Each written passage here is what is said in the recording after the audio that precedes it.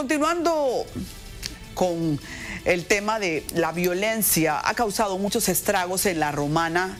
La, violencia, la delincuencia en los últimos días, incluso acciones contra mujeres. José Báez nos presenta algunos casos en el siguiente reporte en los cuales varias mujeres están involucradas. Adelante, José, buenas noches.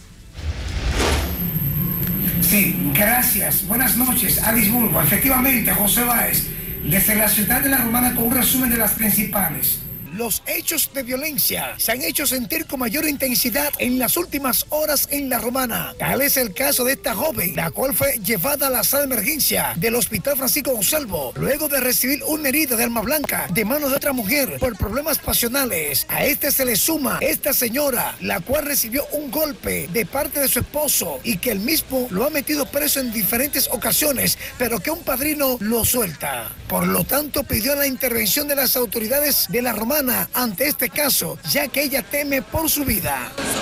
Agarró, me dio un botellazo, me dio de repente.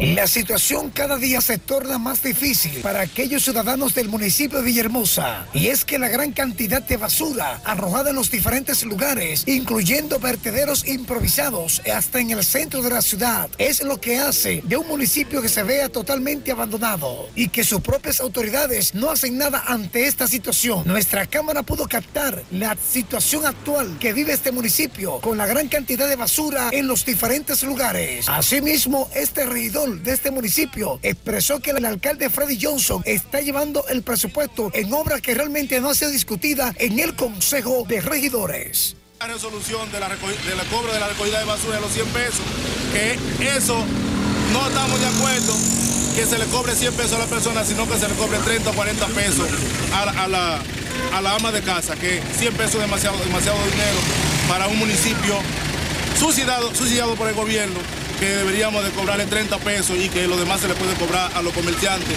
y a los otros, a los otros suplidores. En una última información del ámbito local, se calienta la situación en la escuela Un Paso a la Libertad, situada en el municipio de Hermosa. Y es que la actual directiva, elegida por la comunidad, quiere tomar posesión, pero que la pasada no le cede el paso. Ellos se niegan porque ellos no quieren entregar porque es muy bueno administrar de 300 mil a 400 mil pesos sin darle a la sociedad el informe como lo establece la ley 122-05. Eso es todo lo que tengo desde Boca 1049 en La Romana. Para Red Noticias CDN le reportó José Báez. Hablo contigo a los estudios. Gracias, José.